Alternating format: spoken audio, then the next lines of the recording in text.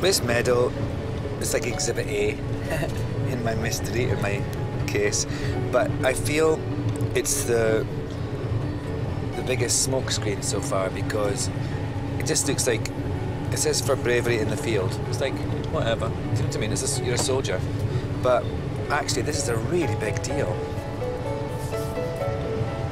Trevor was able to tell me some things about what he did to get it, but I would like to know more specifically because, again, I have a story in my head and I'd like to know the facts.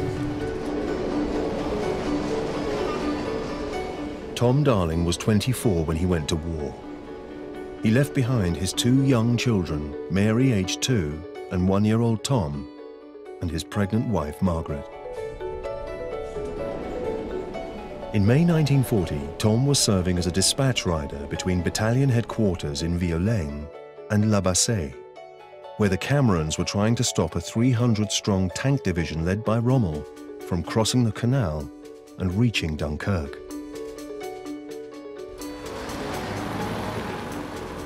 Alan's come here to meet historian David French. I brought you here because this is really where your grandfather wins his medal. Three rifle companies of the 1st Cameron Highlanders are holding La Bassée against the Germans. The headquarters of, the battalion, which is where your grandfather was based, is up there at Violaine. Rommel has got his tanks across the canal, and by about half past two on the afternoon of the 27th, they are rolling across these fields. There are about 300 of them. And this is perfect tank country. It's flat, there is no cover. Your grandfather was a dispatch rider, mm which meant it was his job normally to carry messages from battalion headquarters to the forward company. Mm. But he does something else that afternoon, which is really absolutely extraordinary.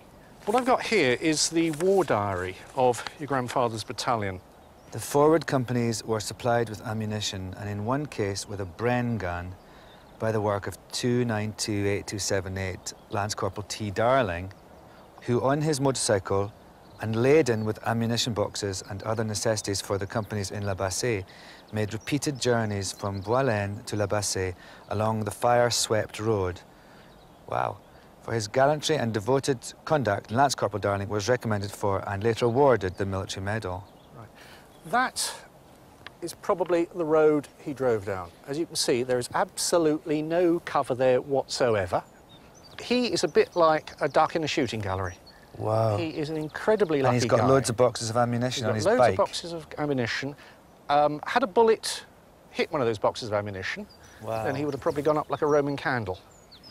He's carrying ammunition to... To the rifle companies, actually, in La Bassée, who are doing the fighting. It's not his normal job. Um, his normal job would just be to carry messages backwards and forwards. What also we've got here is the official citation, which explains why he was given the medal. Lance Corporal Darling took forward on a motorcycle two Bren guns and a supply of ammunition as reinforcement. He carried out this hazardous and difficult operation under mortar and machine gun fire. Whoa! It is like the Commando comics. mein Gott, Gott in Himmel, I say. Well, he's reckless then. He's reckless. I think he's also, I think he's driven by perhaps two things.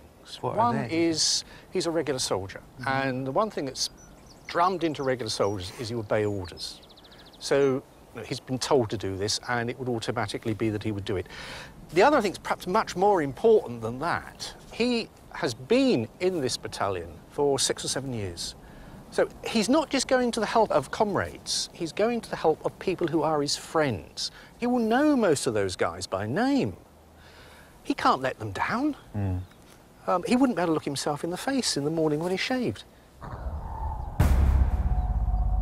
Despite the desperate efforts of the Camerons, German tanks quickly advanced on their positions.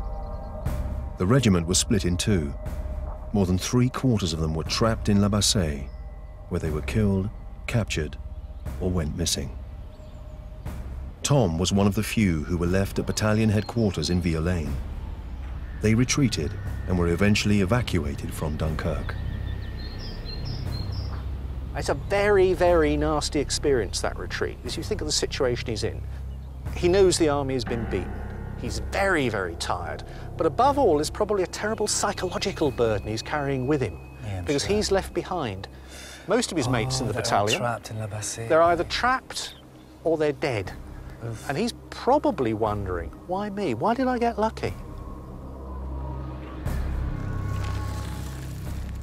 Of the original 800 Cameron Highlanders in France, only 79 answered the roll call when they returned to Britain.